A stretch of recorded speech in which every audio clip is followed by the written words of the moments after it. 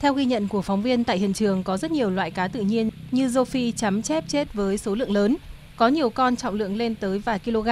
Hiện tượng này từ trước tới nay chưa từng thấy. Vì không chịu nổi mùi hôi thối của cá chết, người dân địa phương đang tập trung ra lòng đập để xử lý số cá này. Cách đây không qua ngày thì sau trận mưa thì à, nước nó tròn từ hồ xuống dưới à, đập chứa nước à, hồ chuối thì nó sẽ làm có cháy hàng loạt. và sau đó là gò vịt gò vịt an và chết theo thì ờ, và nó thấm vào ờ, hồ giếng của hộ các hộ ờ, xung quanh rồi mà ảnh hưởng đến sức khỏe. Và chúng tôi rất lo sợ và tôi yêu cầu các quan công chức năng có sớm có biện pháp để giải quyết.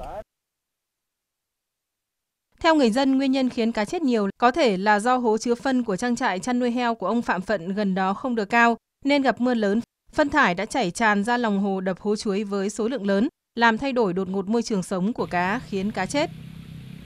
người dân họ, họ phản ánh rất là nhiều nhưng mà cũng dân ở đây họ cũng lùm đơn họ cũng đưa rất là nhiều nhưng mà chưa thấy cái cái cái cái, cái có cái chính quyền nào mà đứng ra giải quyết cho cho cho những người dân nên người dân ở đây rất là bức xúc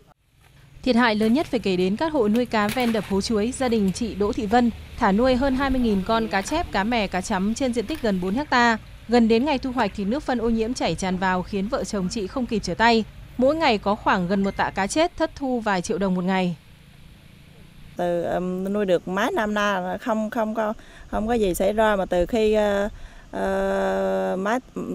bắt đầu mấy tháng nay heo trại heo của ông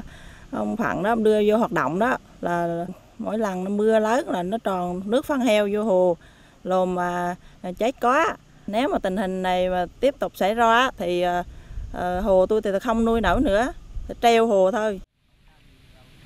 Được biết, đập hố chuối bên cạnh chức năng tích nước phục vụ nông nghiệp, còn gián tiếp tạo sinh kế cho người dân bằng việc đánh bắt cá. Khi tình trạng này xảy ra, cuộc sống của họ ít nhiều bị đảo lộn. Đến lúc ngành chức năng cần vào cuộc điều tra làm rõ nguyên nhân khiến cá chết để người dân yên tâm sinh sống.